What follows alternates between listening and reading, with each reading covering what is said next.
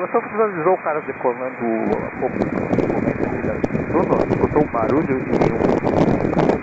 E um parece que houve um, uma perda de altura do cara, mas podia confirmar se. se, se ele está voando? Confirmo, acidentado na cabeceira no 3. Ah, dentro da área, dentro estar na proximidade da área do bombeiro. É, nós visualizamos daqui, a, a, infelizmente, a, a fumaça do evento aí.